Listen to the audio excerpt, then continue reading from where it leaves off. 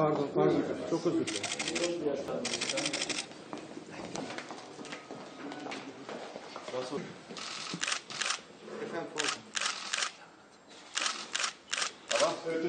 Bulduk. Hava güzel size ne ısmarlayayım sayın Çayımız var, kahvemiz var.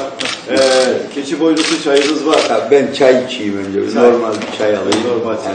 Sizdeki kahve ne kahvesiydi efendim? Mahlep Osmanlı. Bizim yok bizim diyor Osmanlı kaç adını Osmanlı demiş bazıları. Başka isimler de veriyor. O meyli bir isim. İyi hatırladım. Evet arkadaşlar. Teşekkür ederim.